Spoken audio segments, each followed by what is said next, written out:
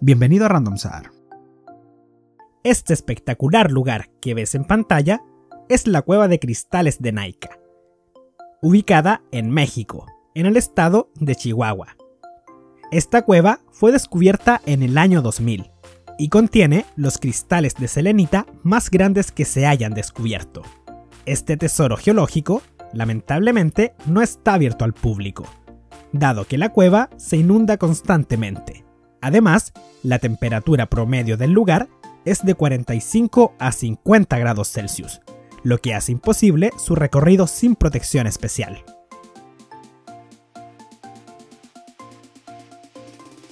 Esto que ves en pantalla es el satélite más pequeño del mundo. Lo diseñó un joven indio llamado Rifat Sharok. Este satélite fue puesto en órbita por la NASA para hacer experimentos y decidir su uso en el futuro. ¿Sabías que, en Japón, al quedar obsoletos los teléfonos públicos, decidieron convertirlos en peceras gigantes? Una idea completamente fascinante. ¿Sabías que el planeta Urano fue llamado Jorge por 40 años, en honor al rey británico Jorge III? Este túnel tan espectacular se encuentra en Irlanda del Norte y es un paisaje sumamente fascinante y tétrico a la vez.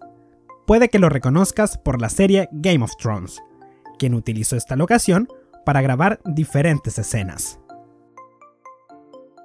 En el año 1998, en una cueva al sur de Francia, se encontraron rastros de pisadas de un niño y un perro, o un lobo.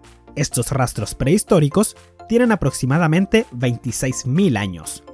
Esto demuestra que la amistad entre los humanos y los perros es mucho más antigua de lo que se creía.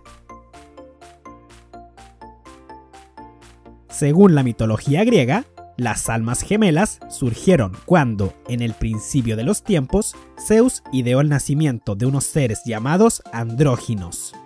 La leyenda dice que tenían cuatro brazos, ambos sexos y una cabeza con dos caras, una masculina y otra femenina. Estas criaturas gozaban de una inteligencia y capacidades sobrehumanas, lo que los llevó a rebelarse ante su dios, sin saberlo, cometieron un error que les costaría la vida. Zeus tomó sus rayos y partió a los rebeldes por la mitad. Estos intentaron unirse nuevamente, pero sin éxito. Zeus borró sus recuerdos para que pudiesen empezar desde cero con sus nuevas vidas.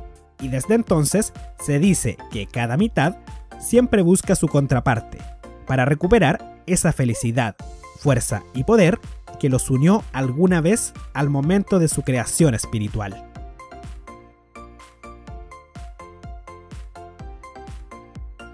Y como siempre, si te gustó el video, déjanos tu like.